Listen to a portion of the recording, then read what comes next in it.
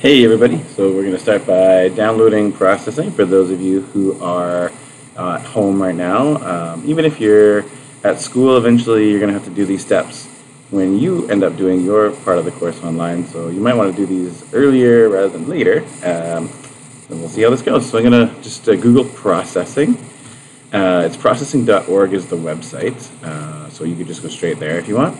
This is the right link here. And the download links are just right in the center. You can see download processing. So it's pretty straightforward. If you have a Windows computer, you have your choice between 64 and 32-bit. Most modern computers are 64-bit. If you're running Linux, there you go. If you got a Mac, there you go. Uh, just click on the correct link.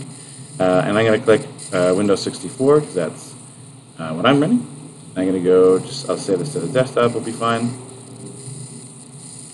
and it's going to take uh, a period of time to download that. It's going to take a little while. So we won't wait for it to download, um, but basically once you're done, you're just going to open up your zip folder. It's called a zip folder. So you just double click on it. For a Mac, if you double click on it, it'll just extract the folder for you, and then you can just run processing from within the folder. If it is a PC that you're using, if you're running Windows, then you're going to have to um, go into the zip folder and take a look. Oh, I guess it's downloaded, so we can go take a look at what that looks like in Windows. Mm, can we? Yeah, it's right here. So this is the zip file. So you just double click on it, and you can see if this is a Mac, it would have just extracted the folder for us. But you have to manually do it. So you have to click here and drag it out. And uh, whoops, I got it. Uh, I think it's because I already downloaded it, so I can't do it a second time. But the idea is that you uh, would drag it out, and then you'd be able to run processing from there. Okay, so that's basically how you download it.